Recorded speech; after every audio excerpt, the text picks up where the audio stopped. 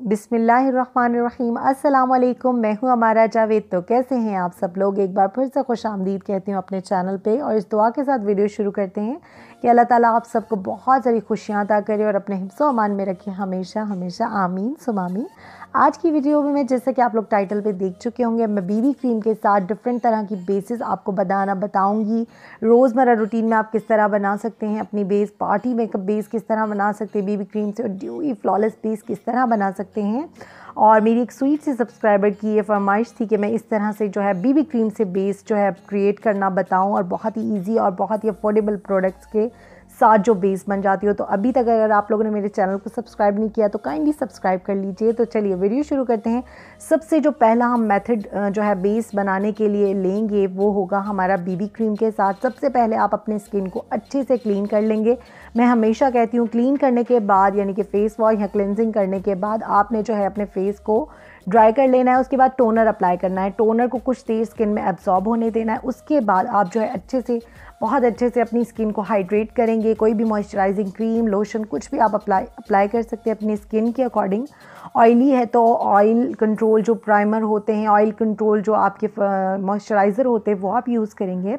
उसके बाद आपने कुछ सेकंड का गैप देना है। उसके बाद आपने अप्लाई करना है मेकअप बेस प्राइमर प्राइमर बहुत ज़्यादा ज़रूरी है अगर आपको ओपन पोर्स का इशू है तो आप प्राइमर बिल्कुल भी स्किप नहीं करेंगे। प्राइमर आपके पोर्स को मिनिमाइज़ करता है और बहुत ही अच्छे से आपकी स्किन को जो है स्मूथ करता है बेस के लिए। तो उसके बाद जो नेक्स्ट स्टेप होता है वो होता है आपकी जो फेस पे पिगमेंटेशन होती है डार्क स्पॉट्स होते हैं उनको किस तरह आप हाइड करेंगे? ऑरेंज पीच कलर के जो करेक्टर होते हैं इससे आप जो है ब्राउन स्पॉट्स डार्क स्पॉट्स को जो है हाइड कर सकते हैं। जी तो इसके बाद जो है आपको कोई भी बीबी क्रीम आप लोग यूज़ कर सकते हैं। मेरे पास मिस रोज़ की बीबी क्रीम है जो कि बहुत ही अफोर्डेबल है और बहुत ही ज़्यादा फुल कवरेज एक फाउंडेशन की तरह फुल कवरेज आपको देती है और सी की जो है फाउंडेशन यानी कि बीबी क्रीम दोनों की तरह ये काम करती है। बहुत ही लाइट वेट और बहुत ही लाइट टू मीडियम कवरेज है। अगर हम मिस रोज़ की बीबी क्रीम की बात करें तो इसका फुल रिव्यू मेरे चैनल पे मौजूद है। आप लोग देख सकते हैं, चाहेंगे तो मैं लिंक जो है डिस्क्रिप्शन बॉक्स में दे दूँगी। और आप यकीन कीजिए, चाहे आप पार्टी मेकअप बेस कर रहे हो कॉलेज गोइंग हो ऑफ़िस गोइंग हो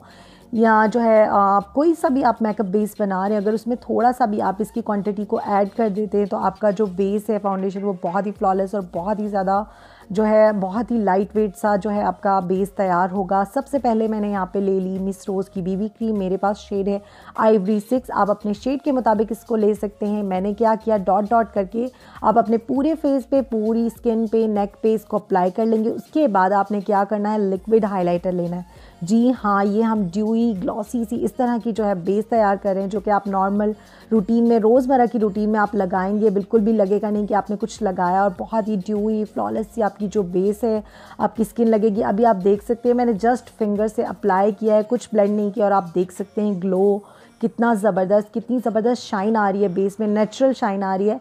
अब आपने ये चीज़ देखनी है कि आपको बीबी क्रीम कितनी चाहिए और आपने देखना है कि आपको लिक्विड हाइलाइटर कितना ऐड करना है, आपको कितना ग्लो चाहिए।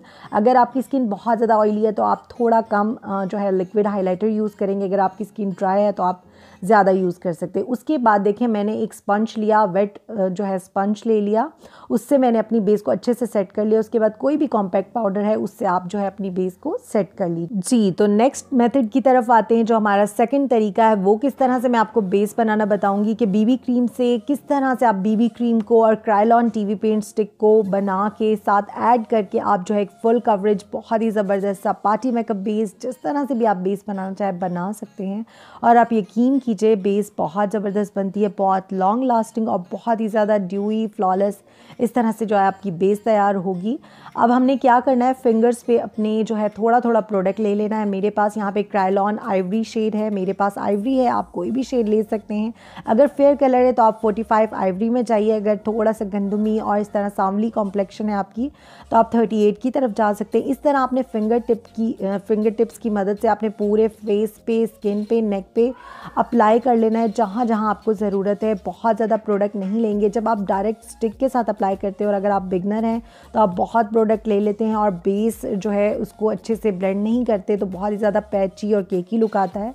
उसके बाद आपने कोई भी पाउडर लेना है, बिल्कुल ना होने के बराबर आपने जो है उस अपने क्राइलॉन को जो है उस पाउडर के साथ सेट करना है, ताकि वो अच्छे से बहुत ही लॉन्ग लास्टिंग हो जाए। आप चाहें तो इस इस, जो है मेथड को स्किप भी कर सकते हैं, यानी इस पार्ट को स्किप कर सकते हैं। आप, अगर आपकी स्किन बहुत ज़्यादा ड्राई है ऑयली है तो आप इस मेथड को इसी तरह लेके चलेंगे।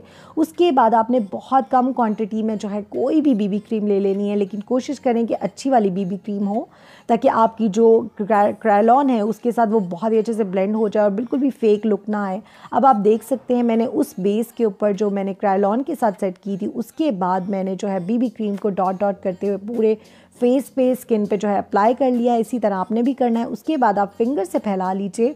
कुछ देर का आप गैप देंगे। यहाँ पे वीडियो है तो मैं गैप नहीं दे सकती। उसके बाद आप एक वेट स्पंज ले लेंगे और यहाँ ब्यूटी ब्लेंडर ले लेंगे, उससे अच्छे से ब्लेंड कर लीजिए ताकि कोई हार्श लुक ना रहे। उसके बाद जो है पाउडर से सेट कर लेंगे अपनी बेस को। उसके बाद आप जो है कंट्रोल कीजिए ब्लशन यूज़ कीजिए। अब मैं यहाँ पे आपको बता रही हूँ कि अगर आपने लिक्विड हाइलाइटर आपके पास नहीं है तो आपने टेंशन बिल्कुल नहीं लेनी है। आप जस्ट इस तरह से बहुत ही खूबसूरत जो है पाउडर हाइलाइटर आपको मिल जाते हैं। आपने जहाँ जहाँ टी जोन एरिया पे जहाँ जहाँ आपको जो है ज़रूरत है अप्लाई करने हैं, आप इस पाउडर को अप्लाई करेंगे।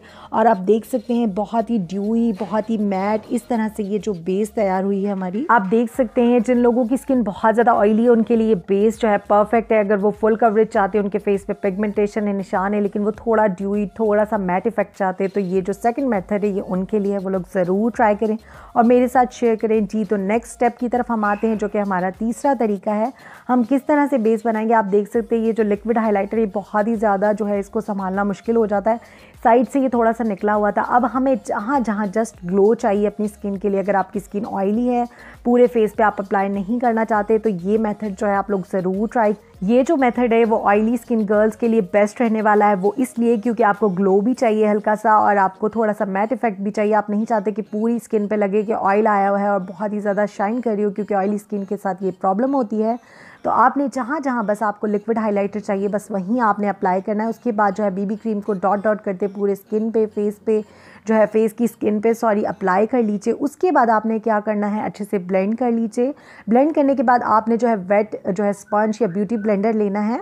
उसको जो है आप पैन केक या किसी भी अच्छे जो है सेटिंग पाउडर पे जो है थोड़ा सा ले लीजिए अपने स्पंज पे और डैप डैप करते हुए पूरी स्किन पे आपने एब्जॉर्ब करवाना। उसके बाद आप जो है कोई भी पीच पिंक जो है ब्लशन ले लीजिए अपने स्पंज पे वेट स्पंज पे, उसको थोड़ा सा अप्लाई करके पूरी बेस पे स्किन पे जो है जी तो उसको सेट कर लीजिए। सेट करने के बाद आप कंट्रोल कीजिए ब्लशन यूज़ कीजिए, अपना हाईलाइटर यूज़ कीजिए। आप देख सकते हैं बहुत ही ज़बरदस्त से जो है हमारी बेस तैयार हुई है, बहुत ही फ्लॉलेस बहुत ही मैट और बहुत ही ड्यूई और सबसे मज़े की बात कि फुल कवरेज बेस तैयार हुई और आप देख सकते हैं बहुत ही लॉन्ग लास्टिंग है ये वाली बेस जी तो आप लोगों को वीडियो कैसी लगी ज़रूर बताइएगा, ज़रूर इस तरीके से बेस तैयार कीजिएगा चेक कीजिएगा, मुझसे शेयर कीजिएगा लाइक कीजिएगा वीडियो को शेयर कीजिएगा, अपना ख्याल रखिएगा।